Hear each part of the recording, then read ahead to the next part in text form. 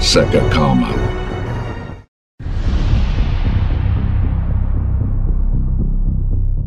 Donald Trump vetou a proibição do uso da força contra o Irã.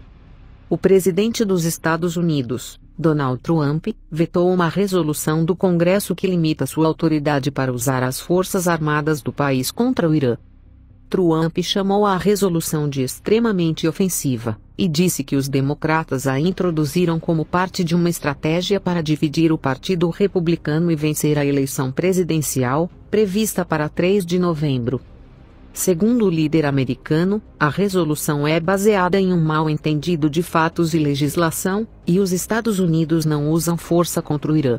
No início de janeiro de 2020, ele chamou a operação para liquidar o general iraniano Soleimani completamente ilegal, indicando que foi autorizada por uma resolução de 2002 sobre o uso da força militar no Iraque.